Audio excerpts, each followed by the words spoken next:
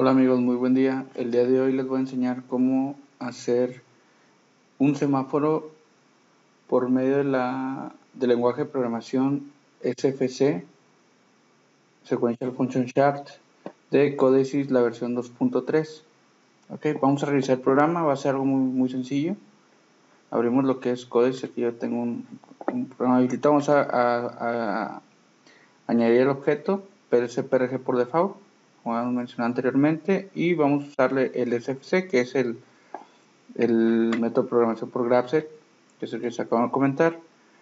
Y acuérdense de añadir lo que son las librerías, eh, yo ya las tengo habilitadas, es un paso que, siempre tenemos que cerciorarnos de que esté eh, para que nosotros poder utilizar este lenguaje de programación. Entonces, eh, vamos a agregar eh, las variables globales, ya agregamos lo que es la, la, la vamos a variables globales, aquí en recursos, y vamos a añadir las, las variables. Eh, solamente va a ser una lámpara, bueno, antes de la lámpara vamos a poner un botón de Start, de forma digital. Ok, vamos a añadir una lámpara verde. Ok, una lámpara ámbar o amarilla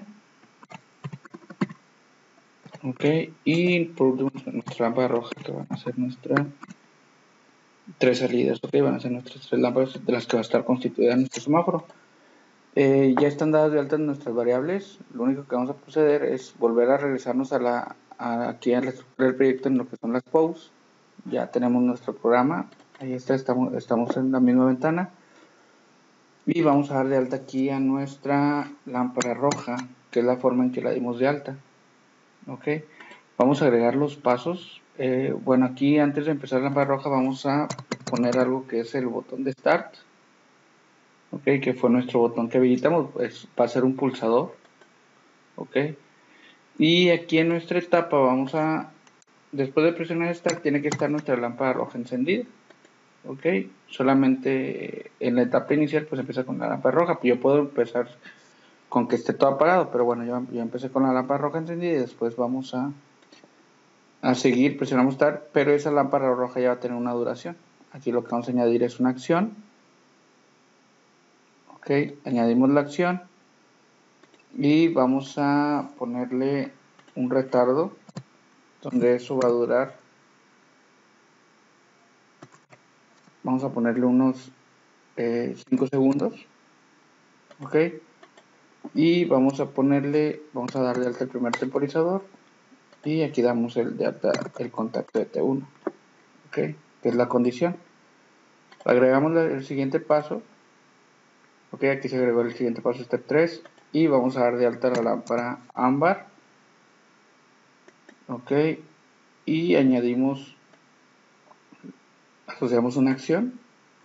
Y vamos a poner aquí lámpara perdón, lámpara no, vamos a ponerle el, segundo temporizador de, de gato y le podemos poner un tiempo de 3 segundos ok y aquí vamos a dar de alta nuestro T2 verificar que eh, cuando damos en la acción el tiempo 2 todavía no se añade hasta que ponemos la condición ya se, ya se adapta nuestro editor ok igual es booleano.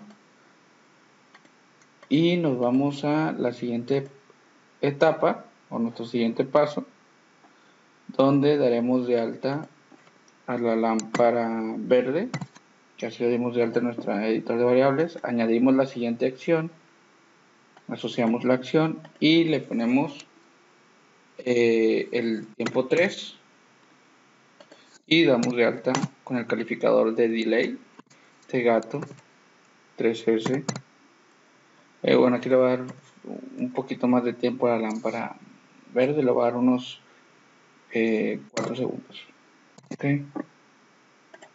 Y por último, damos de alta a la condición del tiempo 3, se va a dar de alta como bool, le vamos a dar OK y se va a regresar a init. Eh, ya están de alta nuestros tres nuevos eh, contactos o temporizadores, como lo quieran ver. Y solamente procedemos a realizar lo que es la descarga antes voy a mostrarles lo que es mi tablero ok está elaborado tenemos nuestro semáforo ahí de alta mi botón ok, es el botón de Start, solamente vamos a online, Login, y le vamos a online, Run. Ok, ya empezó mi lámpara roja encendida. Verifiquen que en mi paso init ya está mi lámpara roja encendida. La variable, aquí está en azul porque pues es la misma variable, acuérdense que pero este es el paso el que está activado. Entonces le vamos a dar Start, es un pulsador, ok.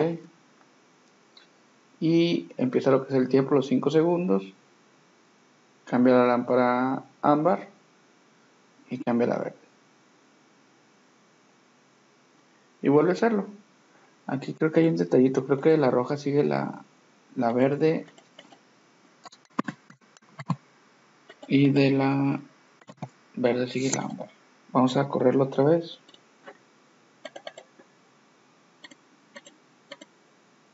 Esa es, es la secuencia Realmente cuando haces un automóvil de la roja sigue la verde. Y luego después sigue lo que es la, amarilla y luego vuelve otra vez a lo que, lo que es la roja. ¿Ok?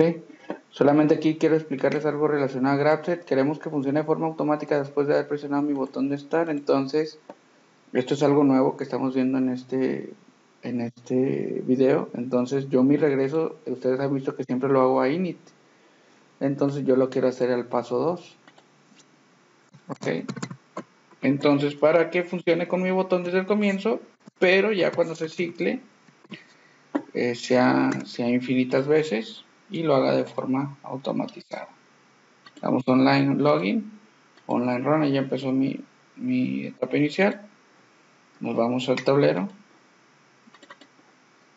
y presionamos el botón.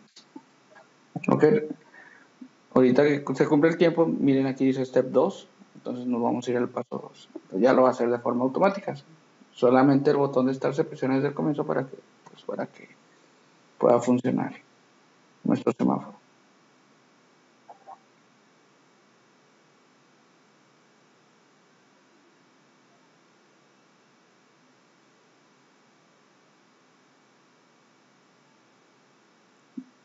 Bueno, espero que les haya gustado mi video. Denle like para seguir subiendo ejercicios respecto a la versión 2.3 de Codesis.